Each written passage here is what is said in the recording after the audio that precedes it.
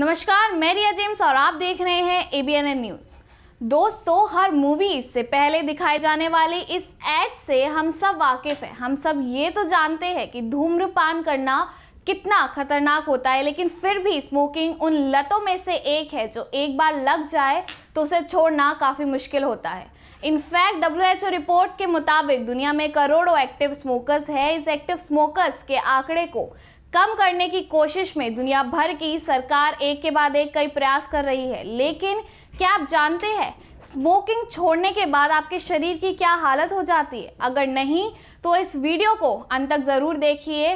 आज की वीडियो काफ़ी इंटरेस्टिंग होने वाली है। जैसे कि हमने कहा था कि सिगरेट पीना हमारी सेहत के लिए काफ़ी हानिकारक होता है। फ़ैशन के चक्कर में कॉलेज के दिनों में लगी ये एडिक्ट हमारे लाइफस्टाइल का हिस्सा बन जाती है। हमें एहसास भी नहीं होता और हमें अक्सर ये पता भी नहीं चलता कि इस आदत ने हमें कब अंदर से खोखला कर दिया है। इस आदत की वजह से इतनी बीमारियाँ हमें घेर लेती है कि जब तक हमें इसका पता चलता है, तब तक बहुत देर हो जाती है। सोचने की बात यह है कि फिर सिगरेट में ऐसा क्या है और आखिर ये इतना एडिक्टिव क्यों है?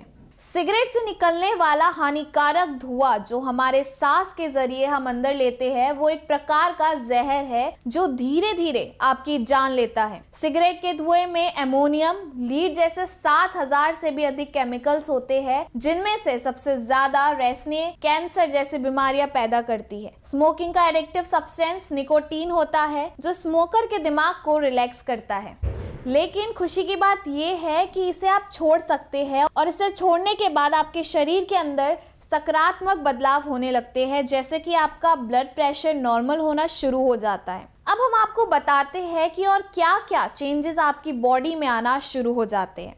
धूम्रपान शरीर के कई हिस्सों को प्रभावित करता है, जिसमें हृदय, हार्मोन, चापचय और दिमाग शामिल है। इसलिए अब जब आप धूम्रपान छोड़ते हैं और शरीर पर इसका प्रभाव पड़ना शुरू होता है तो वापसी के लक्षण दिखने लगते हैं। इन विड्रॉल सिम्टम्स की अवधि और तीव्रता इस बात पर निर्भर करती है कि आप कितने समय से धूम्रपान कर रहे हैं और आप एक दिन में कितना सिगरेट पिया करते हैं। आमतौर पर धूम्रपान की तरफ़ दोबारा लौटने के लक्षण पाँच से छह सप्ताह तक चलते हैं और इनमें दिखाई देते हैं। इनमें आपको भूख, लालच, थकान, सिर दर्द, खांसी और कब्ज हो सकते हैं।